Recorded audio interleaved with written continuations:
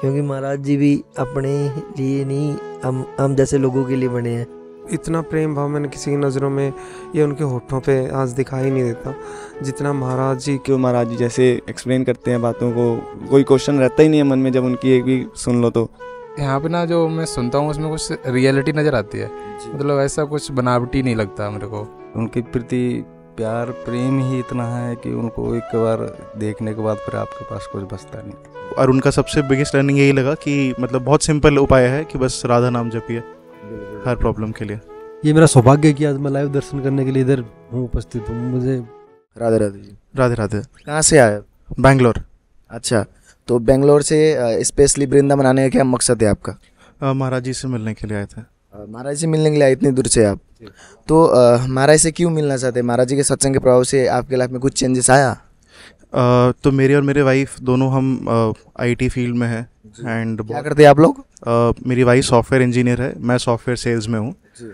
And थोड़ा सा stressful environment रहता है जॉब के अंदर एंड महाराज जी के प्रवचनों से थोड़ी सी ज़िंदगी में स्थिरता एंड एक शांति का सुकून महसूस होता है। तो बस एक अंदर से काफ़ी आवाज़ आती थी कि एक बार महाराज जी के दर्शन करने थे। तो बस एक किस्म से उनका बुलावा आया तो। तो महाराज जी के सत्संग के प्रभाव से आपकी लाइफ में कुछ चेंजेस आए? आपके डेली लाइफ स्टाइल में आपके विचार में? हाँ जी जैसे विचार बहुत ज़्यादा पहले मतलब बहुत सारे विचारों का अ, मतलब बहुत सारे विचार एक साथ आते थे मतलब कुछ ज़्यादा क्लटर था एक समझ नहीं आता था।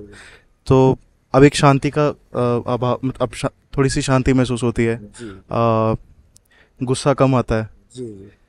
तो ये सारे चेंजेस हैं। मतलब बहुत ज़्यादा एक कह सकते हैं कि तामसिक से एक सात्विक की तरफ़ थोड़ा सा ज़िंदगी बढ़ी है उनके। तो, महाराज जी से कैसे जुड़े? आप किसी यूट्यूब के थ्रू या किसी सोशल मीडिया के थ्रू जुड़े? हाँ जी महाराज जैसे यूट्यूब के थ्रू के थ्रू जुड़े। तो महाराज जी के जब आपने पहली बार महाराज जी का सत्संग सुना तो महाराज जी की क्या क्या बातें सबसे अच्छी लगने लगी जिसके कारण आप महाराज जी का सत्संग डेली सुनने लगे? महाराज जी का सबसे अच्छा चीज़ ये लगा कि उन्होंने जैसे आज के कलयुग में जीवन जीने का एक बहुत सिंपल सा ना एक दिया कुछ बहुत कॉम्प्लिकेटेड नहीं था कि राधा नाम जपिए। तो धीरे धीरे हर दिन राधा नाम जपना शुरू किया। कुछ महीने हो गए जपना शुरू किया। तो वो जपते जपते अपने आप चेंजेस फील हुए। पॉजिटिव थॉट्स मेडिटेटिव थॉट्स आने लगे। तो यूट्यूब के थ्रू और उनका सबसे बिगेस्ट लर्निंग यही लगा कि मतलब बहुत सिंपल उपाय है कि बस राधा नाम जपिए। हर प्रॉब्लम के लिए। तो महाराज जी का सत्संग प्राय डेली सुनते हैं आप? डेली तो नहीं बट हफ़्ते में दो या तीन बार जै- जैसे जॉब अलाउ करती है। हाँ जी हाँ जी। जब जब फ्री होते तब तब सुनते हैं। जी जी। तो आ, आज यहाँ पे आने की फिर प्रेरणा कैसी हुई? आ, हम दो दिन पहले आए थे। पहले डायरेक्टली जब आए थे तो उन्होंने बोला था कि आपको टोकन लेना पड़ेगा। तो जी, जी. कल टोकन लिया तो फिर आज अ, बस मतलब वृंदावन आए ही उनसे मिलने के लिए तो एक बहुत ज़्यादा उनके दर्शन कल गाड़ी से भी बाहर खड़े थे तो उनका दर्शन लिया। तो बस आज था कि उनका सत्संग सुनेंगे उनके दर्शन के लिए। तो जैसे कि जानते हैं कि अभी महाराज श्री आने वाले कैसा फील हो रहा है? बहुत अच्छा मतलब कल भी जब उनको देखा था काफ़ी उनके लिए मतलब वेट किया। तो एक मतलब तीन दो तीन घंटे तक मतलब बाहर ही खड़ा था उनके दर्शन के लिए। तो एक थकावट जो थी खड़े खड़े जैसे ही उनका एक रिफ्लेक्शन मिला वो गाड़ी में अपने जा रहे थे उसी से मतलब एक अचानक से अंदर से खुशी सी महसूस हुई। तो अभी भी जब आ रहे हैं तो बहुत एक्साइटमेंट है कि मतलब कैसे दिखेंगे वो इतने आज तो आज तो आपको सत्संग सुनने का सौभाग्य भी मिलेगा। आगे मिल रहा है बिल्कुल। हाँ जी हाँ जी। बहुत खुशी है बहुत एक्साइटमेंट है। राधे राधे राधे राधे जी। कहाँ से आए आप? बन, पंजाब से। बरनाला शहर क्या करते हैं आप? मैं मार्केटिंग करता हूँ। तो महाराज जी का सत्संग कब से लगभग सुन रहे हैं आप? लगभग ग्यारह बारह महीने से। अच्छा। तो कुछ बदलाव भी आ रहा है जीवन में? जीवन में बदलाव तो आया है। महाराज जी के एक जैसे कह लिए कीर्तन ने इंस्टाग्राम की एक रील है मेरा जैसे कौन सी वाली हाँ इंस्टाग्राम पे रील पे। अच्छा अच्छा। उसने मेरा मीट जैसे अंडा वगैरह होता है वो सभी छुड़वा दिया। अच्छा। फिर उनके बाद मैंने ना कभी खाया आज तक कम से कम आठ नौ महीने हो गए। मैंने अंडा तक को टच भी नहीं किया। सब कुछ छोड़ दिया? हाँ जी अंडा मीट जमा छोड़ दिया। अच्छा तो वो महाराज जी की कौन सी वाणी थी जिसकी वजह से आप महाराज जी के प्रति इतना आकर्षित हुए महाराज जी की वो वाणी थी कहता कहता आप अपने आप जब मीट खाने जाते हो किसी जानवर को कट करते हैं तो वैसे ही आप एक बात अपने दिल पे लगा कर देखना भी आप अपने बच्चे को काट सकते हो। वो बंदा जो सामने बैठा होता है वो सोचने में मजबूर हो जाता है भी ऐसे कैसे कट सक काट सकते हैं अपने बच्चे को।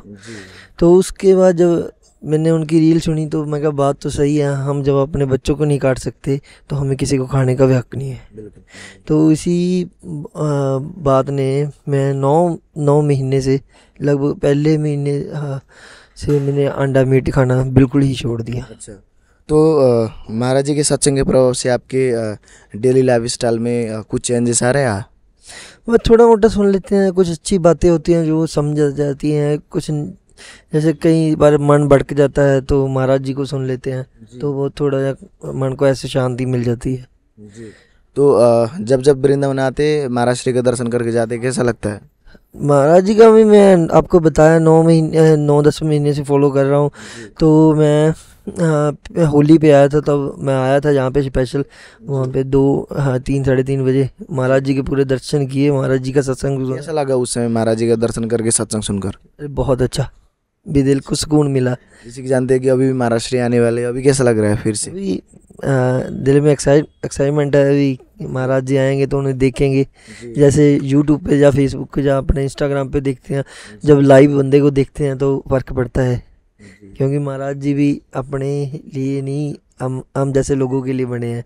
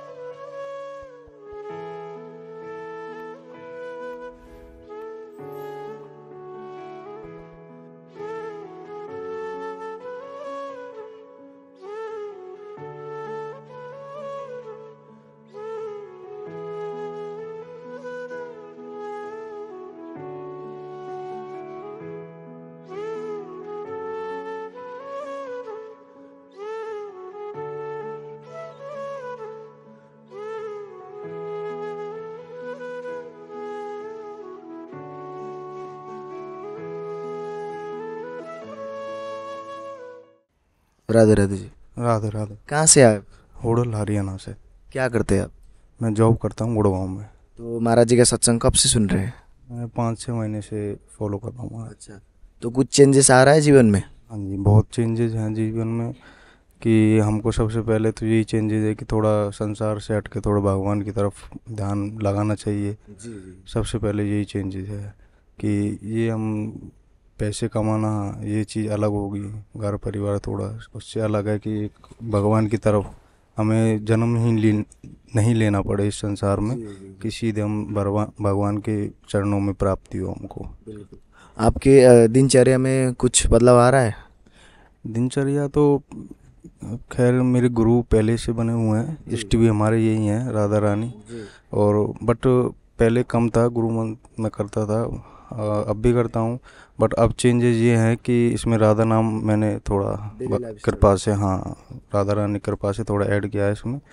थोड़ा डेली लाइफ स्टाइल में राधा राम इम्प्रूव किया है करना जब करना इम्प्रूव किया है थोड़ा। तो महाराज जी के प्रति इतना आकर्षित कैसे हुए आप? कौन सी बात ने महाराज जी की आपको आकर्षित किया? महाराज जी की एक बात हो तो बता ही जाए।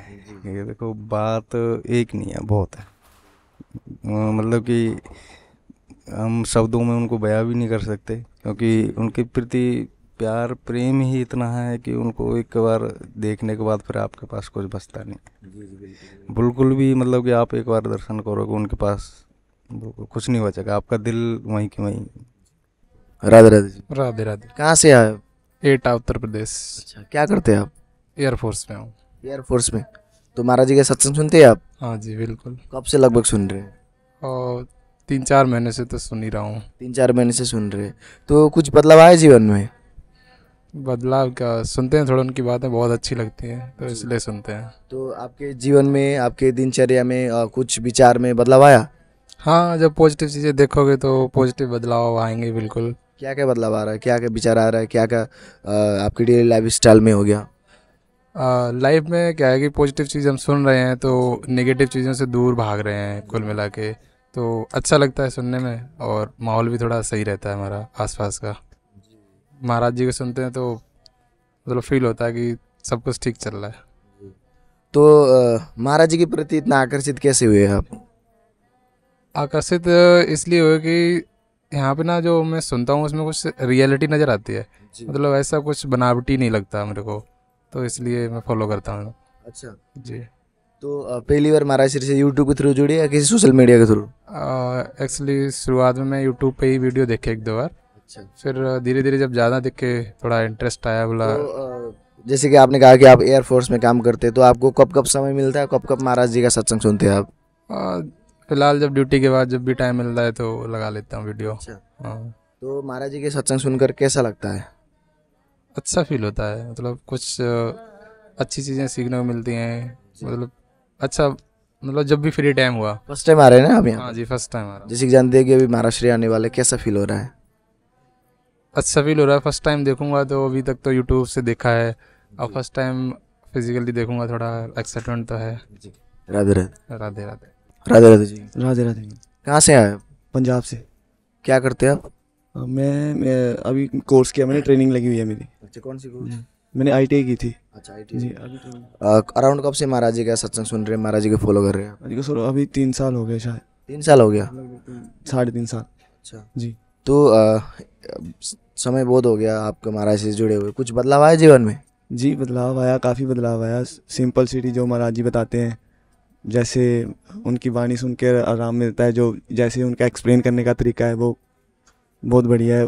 आसानी से बात को पता चल जाता है कि कैसे करना है कुछ भी या कैसे रहना है जीवन को कैसे सही दिशा में लेके जाना है किससे हमारा जो है बढ़ेगा श्री जी की तरफ़ प्यार कैसे बढ़ेगा कैसे कैसे होगा ये सब। तो महाराज जी की क्या क्या बातें सबसे अच्छी लगती है आपको जिसके कारण आप तीन साल से महाराज जी से जुड़े हुए? महाराज जी का सब कुछ ही अच्छा लगता है महाराज जी अच्छे लगते हैं बस महाराज जी की वाणी जो वो मैंने बताया जो महाराज जी जैसे एक्सप्लेन करते हैं बातों को कोई क्वेश्चन रहता ही नहीं है मन में जब उनकी एक भी सुन लो तो। कोई जो भी होता है वो बस वो बता देते हैं सब कुछ ऐसे ही। उनकी सुनते रहो वीडियो बस जो क्वेश्चन दिल में आया वैसे ही पता चल जाता है। अच्छा। जी। आ, पहली बार आप महाराज श्री से कैसे परिचय मिला महाराज जी का? यूट्यूब के थ्रू या यहीं पे आप किसी सुने थे? यूट्यूब से यूट्यूब से। यूट्यूब से देखा था मैंने तब उसके बाद अभी दूसरी बार है। तो। अ, क्या हुआ है ऐसा जिसके कारण आप पहली बार ही महाराज श्री का देख के इतना आकर्षित हुए? श्री जी की कृपा हुई बस उनसे प्रेम हो गया ऐसे ही। अभी आए जब तो उनके मन में था कि दर्शन करने हैं। पहली बार तो दर्शन ही हुए पता नहीं था यहाँ पे कैसे कैसे है। फिर तब पता किया सारा कैसे कैसे होता है। फिर अभी दूसरी बार है टोकन लिया है। अभी जा रहे हैं अंदर। तो कब कब आते वृंदावन? श्री जी की कृपा है आ जाते हैं डेढ़ दो महीने के बाद। डेढ़ दो महीने डेढ़ दो महीने। तो यहाँ पे आके महाराज श्री का दर्शन करके जाते कैसा लगता है? बहुत आनंद आता है। आनंद आता है। जैसे कि जानते हैं कि अभी महाराज श्री आने वाले अभी कैसा लग रहा है? बहुत आनंद आ रहा है बहुत कह, कहने का मतलब है कि बस यही वेट हो रही है कि महाराज जी कब आएँगे।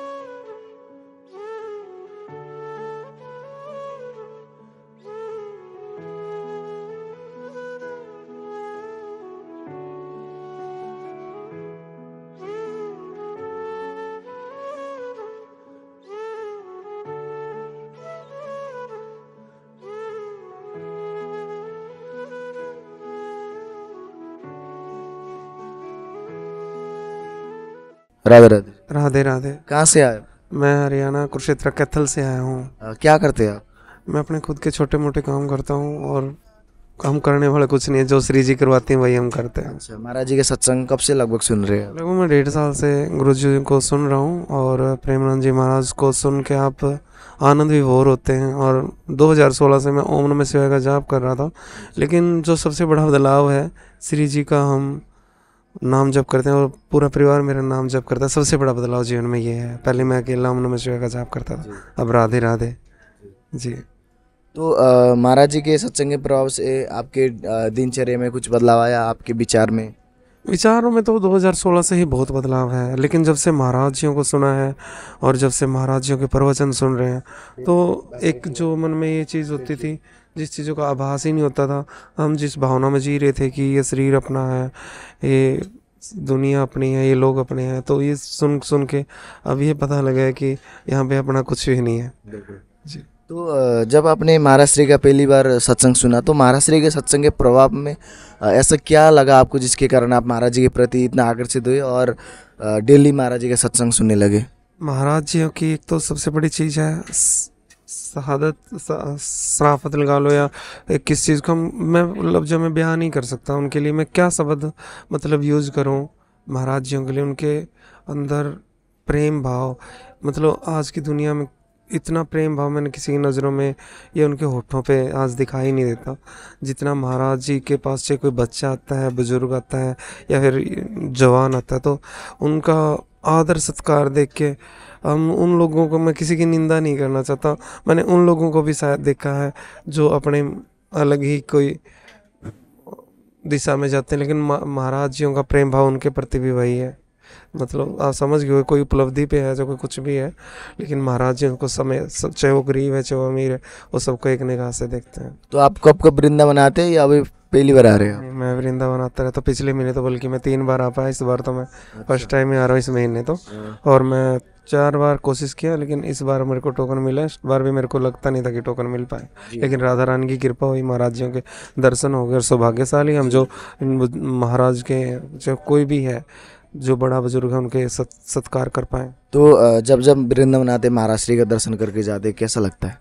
आनंद ही अलग है जी यहाँ तो यहाँ पे जो आएगा वो बांके बिहारी जी का होके रह जाएगा श्री जी का होके रह जाएगा। राधे राधे जी। राधे राधे कहाँ से आए? महाराज जी मैं प्रयागराज से आया हूँ। अच्छा क्या करते हैं आप? मैं पढ़ाई करता हूँ गाजियाबाद में। अच्छा तो महाराज जी का सत्संग सुनते हैं आप? हाँ जी। कब से लगभग महाराज जी का सत्संग सुन रहे हैं आप? सत्संग मेरी माता जी सुनती थी पहले पाँच छः महीने से तब से फिर मैं भी धीरे धीरे सुनता हूँ। जी। तो महाराज जी के सत्संग के प्रभाव जीवन में कुछ बदलाव आया? जीवन में बदलाव आया है जैसे पहले कोई भी चीज़ देखता था तो उसी हिसाब से मन बदल जाता था। कोई भी छोटी सी चीज़ देखी तो आज इसका मन कर रहा है कल उसका मन कर रहा है तो फिर धीरे धीरे ऐसा हुआ कि जब से नाम जब शुरू करा तो मन पे काबू रहता है थोड़ा। हाँ जी। तो महाराज जी की क्या क्या बातें सबसे अच्छी लगती है जिसके कारण आपको भी लगा कि महाराज जी का सत्संग सुनने से लाइफ में काफ़ी चेंजेस आ सकता है? महाराज जी का समझाने का तरीका बहुत अच्छा लगता है। जिस तरीके से वो तर्क देते हैं मतलब आप सब सामने से कोई भी सवाल पूछिए वो तुरंत एक अच्छा सा उदाहरण से आपको समझाते हैं और प्यार से समझाते हैं। ऐसा नहीं है कि वो कुछ कहेंगे आपको बहुत अच्छे से समझाते हैं। ये अच्छा लगता है। राधे राधे। राधे राधे। कहाँ से आए मैं वैसे तो झुंझुनू का हूँ लेकिन अभी मुंबई से आया हूँ मैं। मुंबई से। तो स्पेशली वृंदावन आने का क्या मकसद है आपका? प्रेमानंद बाजी दर्शन है उनका जो सत्संग सुनने का बस यही है। तो कुछ बदलाव आया जीवन में जिसकी वजह से आप महाराज जी के प्रति इतना दूर से आए महाराज से मिलने के लिए? जी बदलाव तो ये है कि जो पहले जो हम सपनों के पीछे मोह माया के पीछे ज़्यादा भागते थे वो भी भागना बंद कर दिया। अभी जीवन का सत्य ज्ञान हो गया महाराज जी की कृपा से तो अब उसी पीछे चल रहे हैं उसी पथ पे चलने का प्रयास कर रहे हैं अभी।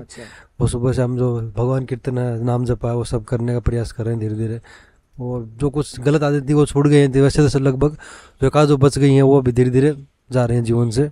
बस यही प्रभु तो महाराज जी की क्या क्या बातें सबसे अच्छी लगती है जिसके कारण आप महाराज जी का सत्संग डेली सुनते हैं? तो जो एकांतिक वार्तालाप होता है उसमें जो मन में जितने भी पर्सन उठते हैं हमारे मन में उनका सब सबका अपने आप ही वो जवाब मिलता जाता है जिससे दिमाग एकदम शांत रहता है सुलझा हुआ रहता है। हमें पता रहता है हमें क्या करना है कैसे करना है। कोई परिस्थिति आती है तो हमें उसको फेस कैसे करना है क्योंकि ये हमारे कर्म है वो हमारे पास घूम घूम के आते हैं। अब हमें पहले जब पता है कि हमारे कर्म है तो फिर हम उससे अच्छे से फिर डील करते हैं उनके साथ में। और पता नहीं होता तो फिर हम क्यों हो रहा है कैसे हो रहा है फिर उस बाबा के पास जाओ ये करो। वो सब करने की ज़रूरत नहीं पड़ती फिर। क्योंकि हमें पता ही है भोगना ही है हमें इसका कोई ऑप्शन है नहीं। तो जब जब वृंदावन आते महाराष्ट्री का सत्संग सुनते कैसा लगता है आपको? ये बहुत अच्छा लगता है बहुत बहुत सुकून मिलता है। और ये मेरा सौभाग्य है कि आज मैं लाइव दर्शन करने के लिए इधर हूँ उपस्थित हूँ। मुझे मैं कह बहुत बड़ा सौभाग्य मिला मुझे कह नहीं सकता इसके बारे में कैसा लग रहा है अभी यहाँ पे आके? बहुत एक सपना जानते हैं कि महाराष्ट्र आने वाले। एक एक सपना सा लग रहा है। लग नहीं रहा मैं सच में यहाँ पे हूँ। ऐसा लग रहा है मैं कुछ सप- सपन देख रहा हूँ सर।